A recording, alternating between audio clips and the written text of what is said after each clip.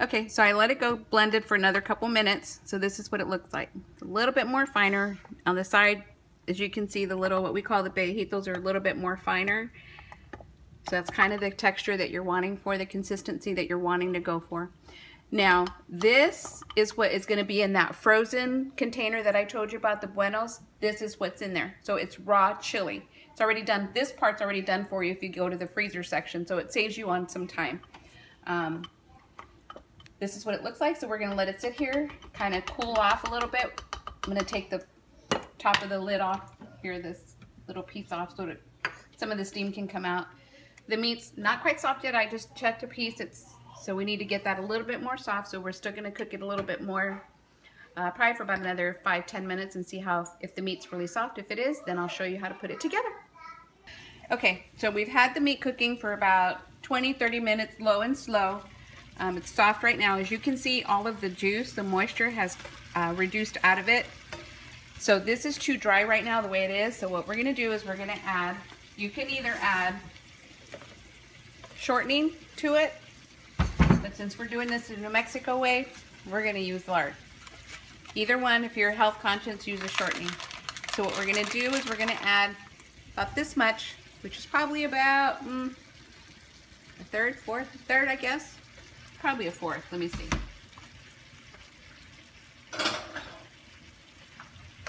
About a fourth. I had to look at my measuring cups. It's about a fourth cup. Okay, now this is going to depend on how much fat you have in your pork. Like I said, I like pork loin. Pork loin doesn't have a lot of fat. It doesn't render a lot of fat. But if you buy the um, one that's on sale and you have a lot more fat, that's fine. And that just means you don't have to add either any of the lard or the shortening or not that much. And the reason we're doing this, I'm gonna, I've been cooking it on medium, so I'm gonna go up a little bit higher on my heat. And the reason I'm doing this is I'm melting down the shortening is because we're gonna add flour to this.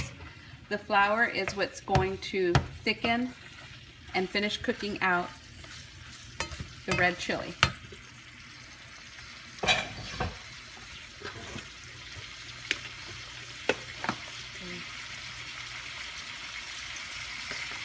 Now, before I do this, okay, let me just tell you something. You can also use this for your enchilada sauce.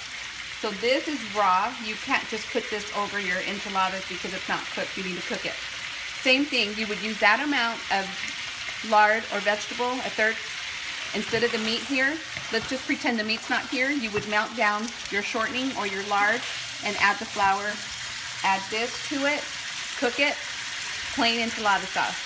Then you can go ahead and add it to your enchiladas. So since we're making uh, red chili with meat, we're doing it this way.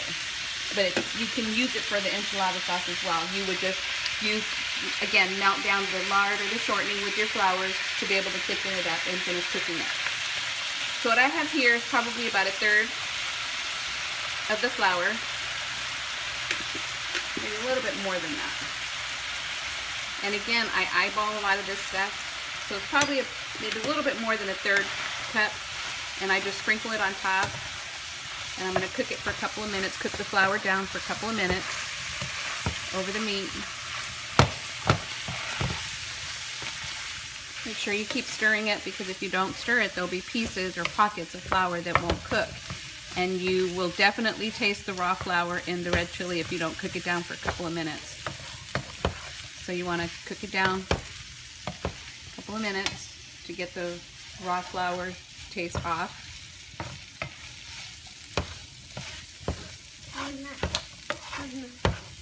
And I have my grandbabies here, of course. They're taking a bath. Did you dry yourself? Yeah. Okay, I'll be there in a minute. Can we pick some clothes out? Yep. the joys of babysitting, I tell you. But been doing this for a very long time. Had three kids of my own. I learned how to cook, take them a bath, all at the same time. Okay, so we've been cooking this down, as you can see here. So we have the flour cooked down, so that flour taste comes off. Now we're ready to add this to it.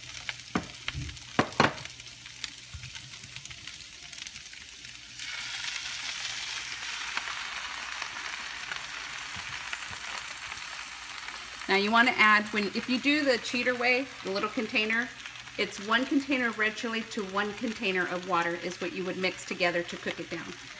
Same concept here. So we had about, uh, this is probably about five cups of red chili, so we're going to add about five cups of water.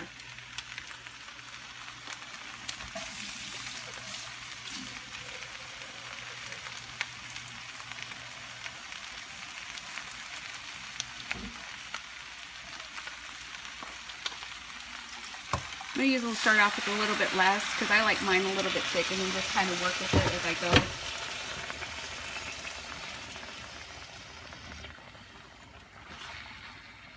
And because remember we added salt to the red chili when we were blending it, we don't really need to add any now.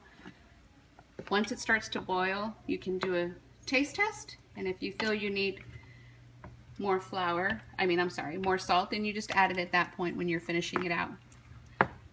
So this is on high because we want this to boil. And what the flour does is it just thickens your red chili sauce. You have to cook the raw red chili. If you don't, you will get really sick. It'll give you really bad stomach ache. It doesn't taste very good raw. So the meat and the juices of the meat is what's going to give your red chili your flavor. Can see how it's looking. So we're looking for that, this kind of consistency. It's thick. It's going to get a little bit thicker as it starts to boil, so the flour will make it a little bit more thick.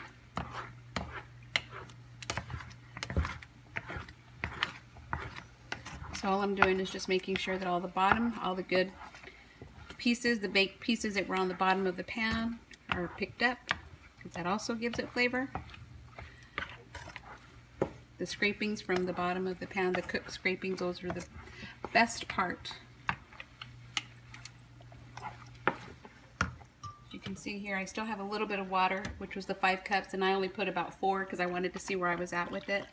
I'm just going to add a little bit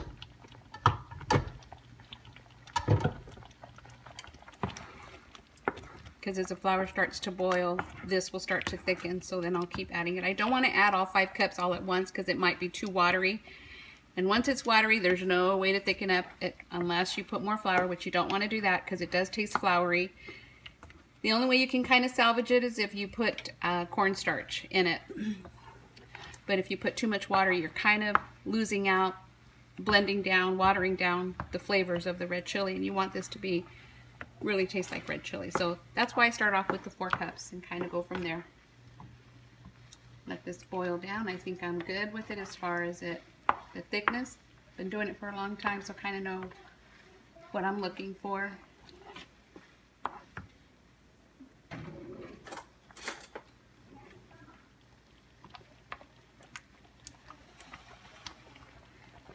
Quick taste test. Yummy. Does need a little bit more salt.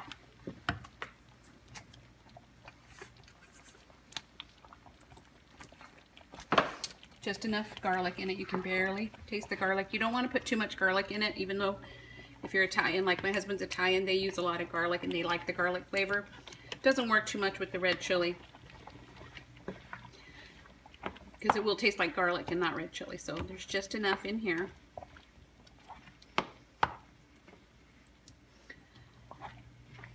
Folks, so I'm going to let this, it's already come to a boil, so what I'm going to do is put it on low and let this finish cooking for about another 10 minutes, 15 minutes.